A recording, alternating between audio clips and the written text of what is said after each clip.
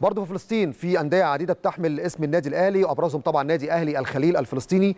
لكن لمزيد من التفاصيل معايا الأستاذ عاهد عوني رئيس تحرير صحيفة الرياضية الفلسطينية. أستاذ عاهد أولا برحب بيك على شاشة قناة النادي الأهلي وتحياتنا إلى كل إخواتنا في فلسطين.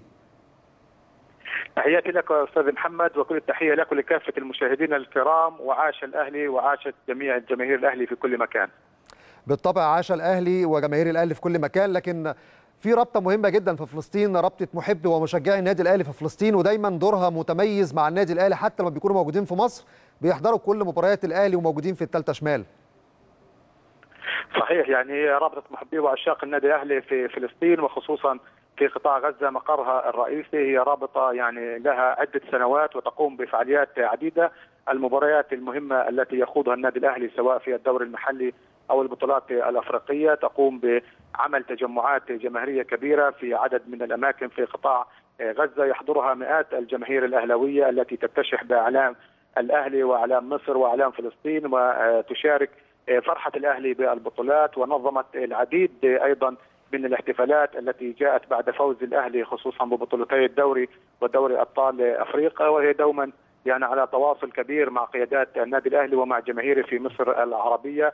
وأيضا هذه الرابطة في قطاع غزة خصوصا وفي فلسطين بشكل عام لها أيضا إسهامات رياضية حتى على المستوى المحلي لأنها تقيم العديد من البطولات تحت رعايتها ويكون دوما شعار النادي الأهلي متواجد في هذه البطولات المحلية في كافة الألعاب سواء كرة القدم أو تنس أو تنس الطاولة أو كرة السلة. وأيضا حتى في مباريات البطولات البلياردو والسنوكر وغيرها من البطولات التي ترعاها هذه الرابطة يعني حقيقة هذه الرابطة لا يتوقف نشاطها فقط عند الجانب التشجيعي بل لها أيضا نشاطات وإسهامات كبيرة وتعزز أيضا من خلال الزيارات مع الفعاليات الرياضية في فلسطين ودوما رسالتها حاضرة بأن فلسطين ومصر شعب واحد وأمل واحد ومستقبل واحد. طيب أستاذ عاهد وإحنا بنتكلم على الأندية اللي بتحمل اسم النادي الأهلي في فلسطين، كم نادي بيحمل اسم الأهلي زي أهلي الخليل؟ لكن كم نادي في الدوري الفلسطيني؟ يعني هناك عدة أندية تحمل اسم النادي الأهلي خصوصا أشهرها بالطبع هو نادي أهلي الخليل لما حققه من بطولات. نادي أهلي الخليل هو من منطقة الضفة الغربية هذا الجزء الغالي من فلسطين.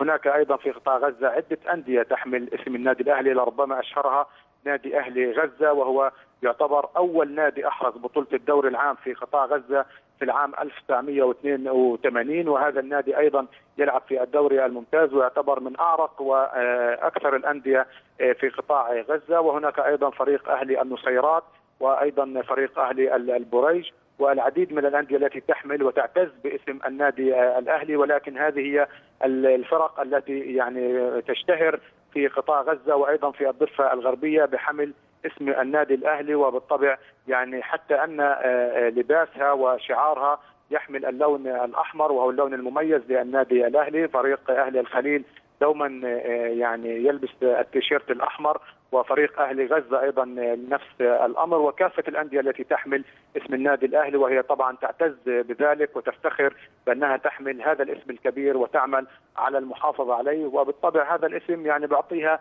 دائما نعرف دفعة معنوية كبيرة وروح كما نسميها دوما روح الفانيلا الحمراء هي التي تجعلها تؤدي بكل قوة وتحصد البطولات.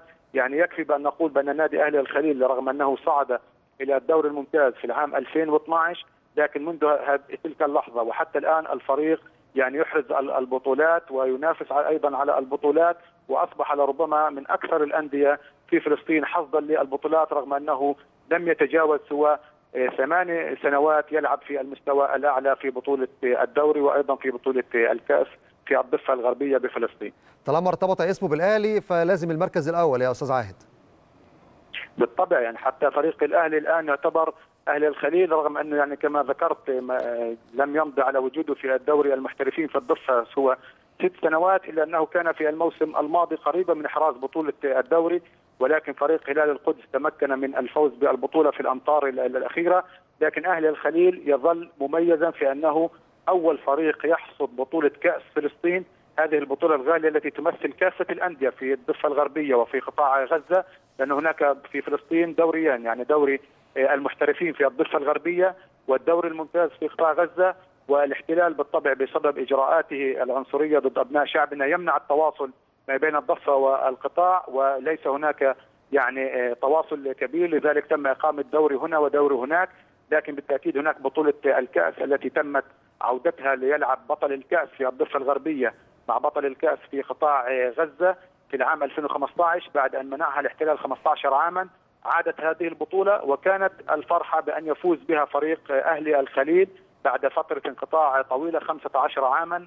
منعها الاحتلال لكن أهلي الخليل كان هو الفائز بها في العام 2015 كان على حساب اتحاد الشجاعية.